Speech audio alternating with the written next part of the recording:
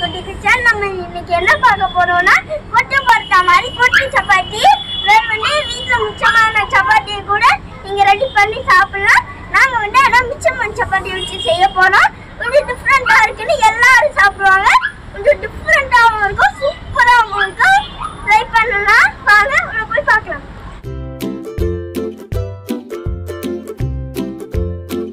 சோறு தான் முக்கியம். இந்த போறப்பு தான் நல்லா ருசிச்சு சாப்பிட கிடைச்சது.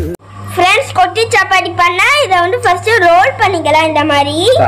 ரோல் பண்ணிட்டதுக்கு அப்புறம் கட்டியை வச்சு கட் பண்ணிக்கோங்க. சின்ன சின்னதா கட் பண்ணுங்க அப்படின்னா நல்லா இருக்கும். ஃப்ரெண்ட்ஸ் கட் பண்ணி எடுத்தாச்சு. நல்லா குட்டி குட்டியா இருக்கு பாருங்க. இந்த மாதிரி கட் பண்ணி எடுத்துக்கோங்க. ஸ்டவ் மேல பேன் வச்சிருக்கோம். இதுல வந்து எண்ணெய் ஊத்திக்கலாம்.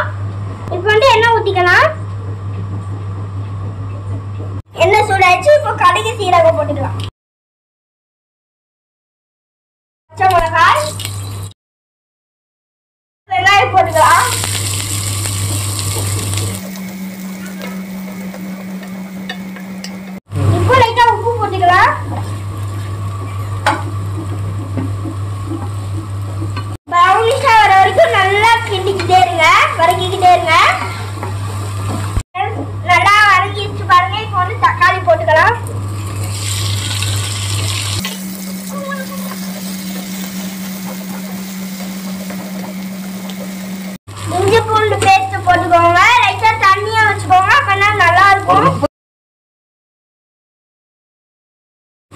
இப்போ மசாலா போட்டுக்கலாம் மல்லித்தூள் மட்டன் மசாலா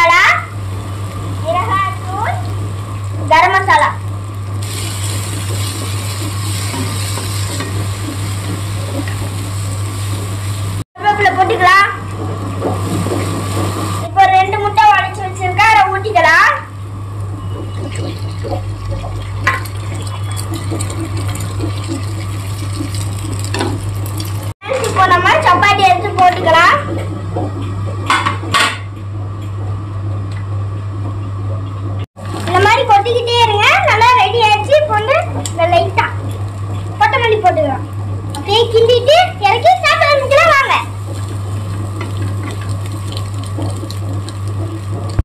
எப்படி இந்த சப்பாத்தி எப்படி அடிச்சு பாருங்களேன் பார்க்கவே செம்மையா இருக்குல்ல சூப்பரா இருக்கு வாங்க டேஸ்ட் பண்ணலாம்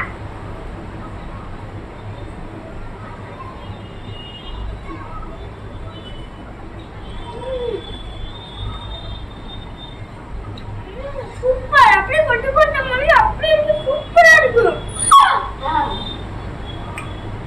செம்ம டேஸ்ட் சூப்பரா இருக்கு கடையில் வாங்கி சாப்பிட்ட மாதிரியே இருக்கு அதுக்குள்ள எங்க வீட்டு நாலு மாசம் வச்சு சர ரெடி இருக்கு.